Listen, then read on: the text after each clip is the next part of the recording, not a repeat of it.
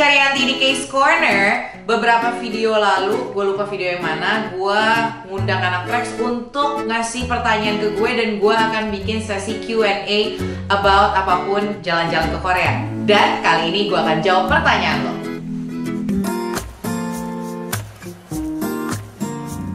Oke, kita udah ngumpulin beberapa pertanyaan dari anak Trax dan gue akan bacain satu-satu. Yang pertama ada dari Setia Artiani. Dia bilang, Kak Sasha, uh, berapa lama waktu yang pas buat backpackeran, backpackeran di Korea? Terus tempat yang wajib dikunjungi di mana aja? Sama favoritnya di mana? Favorit gue, oke. Okay. Uh, backpackeran menurut gue di Korea paling pas sekitar 7 sampai 8 hari. Itu menurut gue paling pas biar ke cover semua yang pengen lu datengin gitu dan biar ya udah banyak tempat yang bisa datengin kan nggak murah juga ke Korea kan jadi biar puas. Terus kalau tempat wajib sebenarnya tempat wajib tergantung lu sukanya apa ya. Kalau misalnya lu suka drama mungkin lu harus ke Nami Island dan tempat syuting lainnya. Kalau misalnya lu suka K-pop berarti lu harus ke SM Town lu harus ke JYP lu harus ke YG tapi menurut gue yang pasti adalah lu harus ke Myeongdong karena di situ banyak banget street food yang bisa dicobain dan juga banyak banget makeup. Buat yang suka makeup Korea lo harus ke Myeongdong sama Ihwa Women University tapi kalau tempat favorit gue selama gue pernah ke Korea itu ada dua. Yang pertama ada di Seoul itu Hamgang Park jadi taman yang ada di pinggir sungai Hanggang. Sama kalau di Busan gue suka Taejongdae ini pertanyaan kedua ada dari Ratih Purnamasari. Dia nanya di video gue yang gue ke Cimcil Bang. Kalau misalnya belum nonton bisa lihat linknya di bawah. Itu pertanyaan adalah after shower dan berendam mesti nge-scrub nggak ya? apa boleh lanjut ke dry sauna? Terus uh, shower roomnya typical western atau ada yang duduk? After shower nggak harus scrub. Kalau lo mau boleh nggak juga nggak apa-apa. Bisa langsung ke dry uh, sauna pakai baju dan ke common room itu. Atau eh atau nggak itu udah gitu aja. Sama kalau showernya itu tipikal shower Korea Jilbab di mana kita mandi bareng-bareng bukan yang individual kayak western western pertanyaan ketiga ini cukup bagus pertanyaan menurut gue ada dari Zai Zafun Rana. Dia nanya um, kalau tinggal di luar Jakarta gimana cara ngurus visanya? Terus perlu interview atau enggak? Tolong dibantu. Setahu gue kalau misalkan kalian mau pakai jasa urus di tour kayak travel agent itu bisa. Kalian tinggal ngirimin dokumen-dokumennya aja nanti diurusin sama mereka. Interview nggak semua di interview. Ada yang di interview ada yang enggak kalau dokumen-dokumen lo lengkap nggak perlu interview. Kalau misalkan ada yang perlu mereka tanyain lo akan interview dan dipanggil tapi gue dua kali ke sana sih nggak perlu interview. Dan dua dua kalinya pun gue juga nggak datang. Gue minta travel agent urusin. Jadi bisa dari luar kota minta urusin aja. Aman kok next question ada dari Intan Permata S dia nanyain soal gue waktu di Busan jadi kayaknya ada di beberapa video gue yang jalan-jalan ke Busan kalian kalau mau lihat nonton aja dia um, nanya kak rekomend hostel di Busan dong kalau ngerekomendasi salah satu hostel di Busan, gue kayaknya nggak bisa karena gue baru sekali ke sana. Waktu gue ke Busan, gue nginep di First Guest House. Bagus menurut gue, cuman sayangnya daerahnya terlalu jauh. Gue salah milih tempat. Jadi gue paling bisa memberikan rekomendasi adalah daerahnya. Jangan pernah dan jangan mengikuti kesalahan gue adalah nginep di daerah Haeundae karena Haeundae itu jauh banget dia tuh nggak di pusat kota sedangkan kan kalau di sana lo akan ke mana-mana kan jadi baliknya tuh akan jauh banget berangkatnya pun juga akan jauh saran gue kalau misalkan kalian mau nginep di Busan nginep di daerah Somyeon sama daerah Nampodong.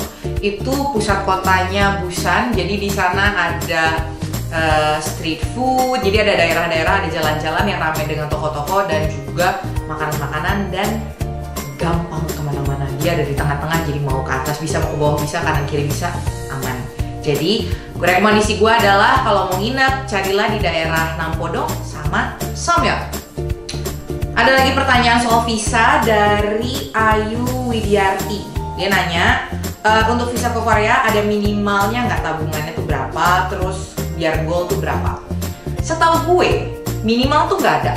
Ada yang bilang 30 juta ada yang bilang 15 juta. Tapi enggak sih nggak pasti sih. Gue kemarin tabungan gue nggak nyampe 13 juta itu aman. Setahu gue jadi ada hitungannya.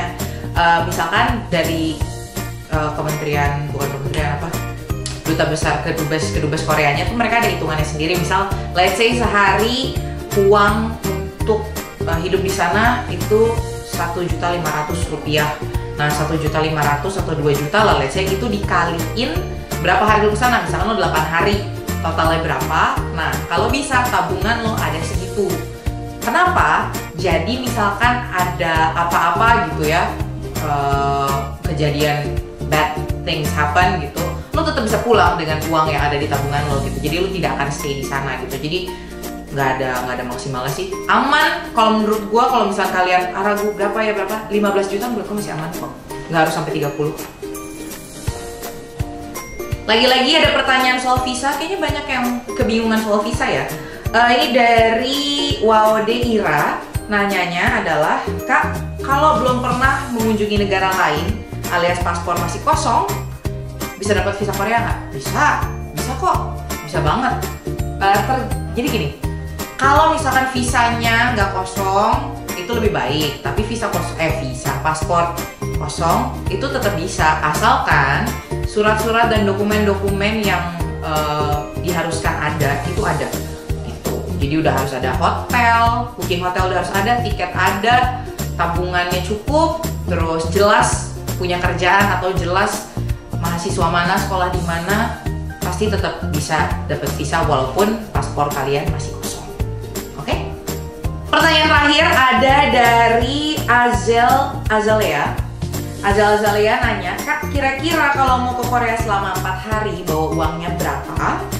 Uh, itu udah termasuk sama pesawat, hotel, makan, dan jajan Tanya, berapa kira-kira?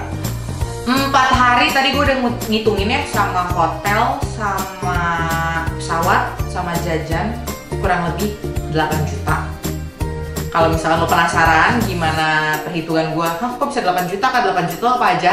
Nonton aja video budgeting gue di bawah sini, linknya ntar ada cari aja. Itu gue udah bikin video budgeting kira-kira berapa. Tapi gue tidak menyarankan untuk ke Korea 4 hari sih.